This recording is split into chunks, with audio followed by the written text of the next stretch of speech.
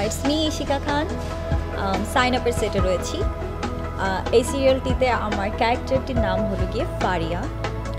এখানে আমাকে একটা রিচ ফ্যামিলির মেয়ে দেখানো হয়েছে। এখানে আমার ফ্রেন্ডস রয়েছে। অনেক কিছু ঘটে এখানে।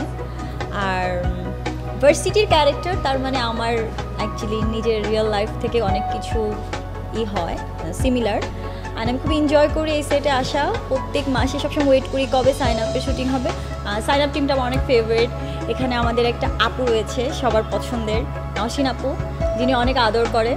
মনে হয় খুব মানে খুব ভালো মন্দ সব কিছু সাজেশন দেয়, খুব ভালো লাগে। কোনো ড্রেস ট্রেসে কারোর যদি প্রয়োজন হয়, এত হেল্পফুল সে সিরিয়াসলি আমার অনেক ফেভারিট একটা টিম হোপ আমাদের এই সিরিয়ালটা আপনাদের সবার ভালো লাগবে।